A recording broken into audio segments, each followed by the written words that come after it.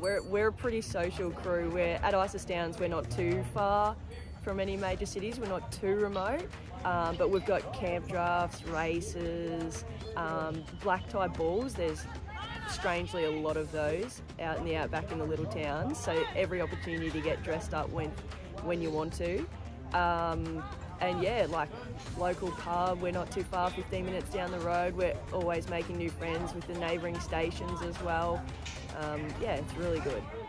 No shortage of social life. We have Ringers Rugby at the end of the year, which is really good because that gets nearly the whole territory together to all play footy together, which is it's a really good day. Yes. the girls won last year, the CPC girls, so that was good. We better pull through again this year. Um, yeah, we get time off for camp drafts and everything, which is good, and a getaway and a break from everything, especially between first round and second round which is great. The opportunities are endless, really, and it is really what you make it. So some people choose to use their downtime as just that, like they work so hard on the days, so they use it for resting.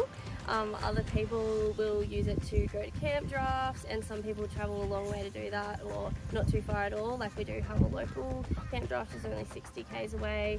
Um, we've got lots of good springs, like swimming spots around Carlton. There's a pool on Carlton.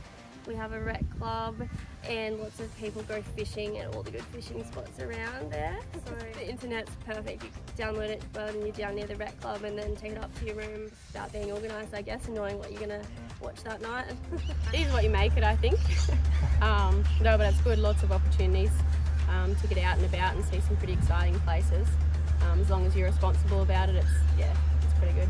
Um, fishing, riding horses, yeah, catching up with friends and family, I guess, phone calls. I quite like sleeping, so I spend most of my day inside watching movies. But other than that, there's good barra fishing at Rocky Park. Um, go out, spend time with all the, all the other people. Um, we have the annual Walsh Office races, which is also a hoot, and then along with all our camp drafts and rodeos we get to attend. Uh, we call Isis Downs the suburbia of the CPC uh, station portfolio because one of the benefits for us is it gives people uh, that station life and that station exposure, you know, mustering, helicopters, horses, motorbikes, but we're so close to Blackall and we're so close to Longreach. So, you know, they're an hour away from parties and balls and race days and there's such a great community around us that I think that's it's probably a really nice place for people that have never been on a station and is a little bit worried about the isolation to come because we're part of such a tight knit community with so many great social events around us.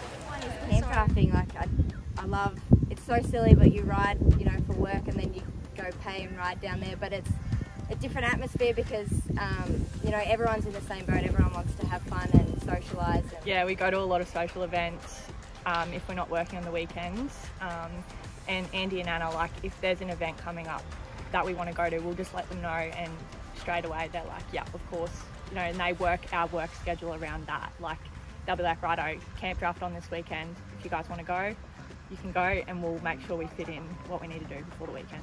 So yeah, they're awesome with that. Yeah, I'm, I'm pretty social, so I like to go away to drafts and races and everything. Um, yeah, whenever you get a chance, got a bit of time off a few days, I shoot up and down, we get to do a bit of shopping at the shopping centre and stuff up there, and we go clubbing and we go to the local horse race or draft, radio.